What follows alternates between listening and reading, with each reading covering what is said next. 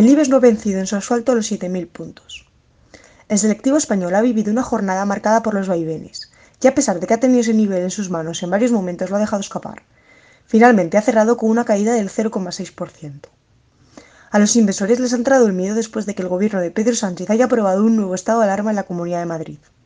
La parte positiva ha cerrado la semana con un avance cercano al 3%. La bolsa española ha vivido unas jornadas muy positivas gracias al empuje de los blue chips, como los bancos Telefónica o Repsol, donde así continúa la buena racha en Wall Street.